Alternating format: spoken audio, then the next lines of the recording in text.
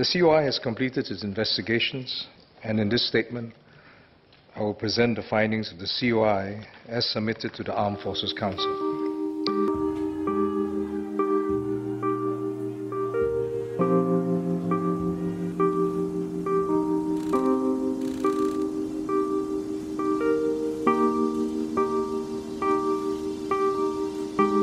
It appears from the initial findings that Aloysius was unable to get out of the way as the gun barrel was lowered as part of this task.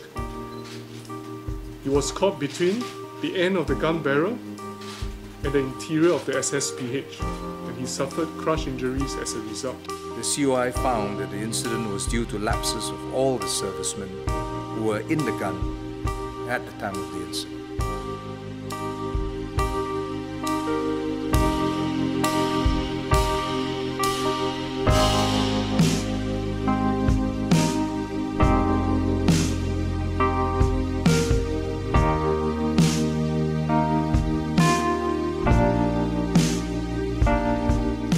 That the direct causes determined by the COI that resulted in the death of Corporal Pang are preventable, were preventable, had there been compliance to safety rules.